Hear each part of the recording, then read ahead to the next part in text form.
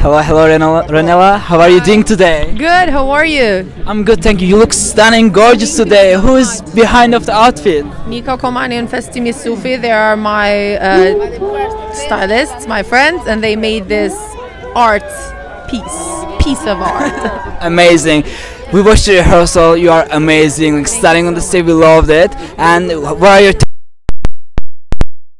Oh yeah, uh,